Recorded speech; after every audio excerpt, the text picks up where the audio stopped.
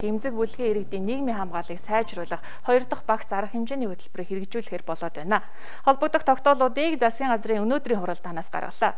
Тухайн зохицуулалтын талаар ерөнхий сайд хүрэлцэх болон зарим салбарын сайдууд хэвлэлийг нь танилцууллаа. Засгийн газрын уралдаанаас гаргасан шийдвэрээр бол хүүхдийн мөнгө болон зарим төрлийн тэтгэмжийн хэмжээг нэмэгдүүлэхээр болоод байна. Бас нийгмийн эмзэг бүлгийн иргэдэд санхүүгийн дэмжлэг үзүүлэхээр болсон гэж Монгол Улсын ерөнхий сайд хүрэлцэх мэдэгдээд байна. 0-оос 18 насны хүүхэд бүрт 4-р сарын 1-ээс 10-р сарын 1-ний өдрийг хүртэлх хугацаанд сар бүр хүүхдийн мөнгөнд тэтгэмжийг 100 сая төгрөг болгож нэмэгдүүлж байгаа. 4 сард бид нар бол хүүхэд бүрт 30 мянган төгрөг болгосон шүү дээ тийм ээ. Одоо өнөөдөр маргааш багтаж 4 сарын үлдэгдэл 70 мянган төгрөгийг хүүхэд болгонд болгоно.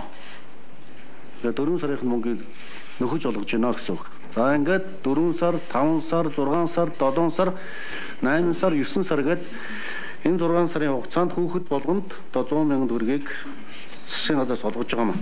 За хоёрдугаар асуудал нь хүнсний талооны асуудал байгаа нийгмийн халамжийн дэмжлэг тусалцаа зайлшгүй шаардлагатай бага орлоготой өрхийн иргэдэд дэмжлэг үзүүлдэг та бүхэн бүгдээрээ мэднэ. Нийтдээ одоо насан турш 122.3 мянган хүн байгаа. Сарда 16 мянган төгрөг авдаг, тийм ээ.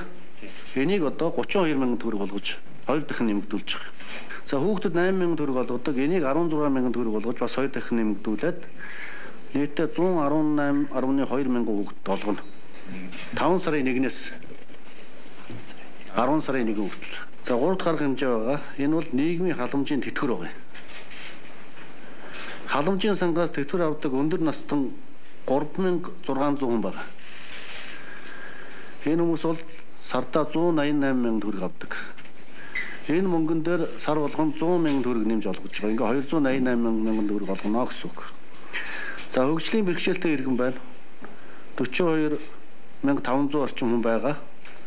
Энэ хүмүүс бас 188 мянган төгрөг авдаг. Энэ дээр бас 100 мянган төгрөг нэмж олгоно гэсэн үг 288 мянган төгрөг авнаа гэсэн үг. За одоо иргэн байна. 116 хүн байгаа. Мөн одоо адил 100 мянган төгрөг нэмж олгоод 288 мянган төгрөг авна гэсэн үг.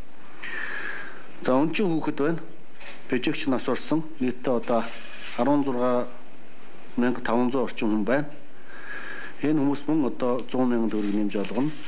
288 мянган төгрөг олгоно гэсэн үг. За өрх толгооссон эцэг их дөрвөөс дээш хүүхэдтэй мөн сардаа 188 мянган төгрөг авдаг. Энэ дээр бол 100 мянган төгрөг нэмж олгоно. Ингээд 288 мянган төгрөг олгоно гэж ингэж ойлгох хэрэгтэй. Ингээд 5 сарын 1-ээс 10 сарын 1 хүртэл энэ мөнгө олгогдно. За харин төрөөс малчин айл өрхүүдэд ноолуурын 1 кг тутамд нь 20 мянган төгрөгөөр тооцож урамшуул олгоно.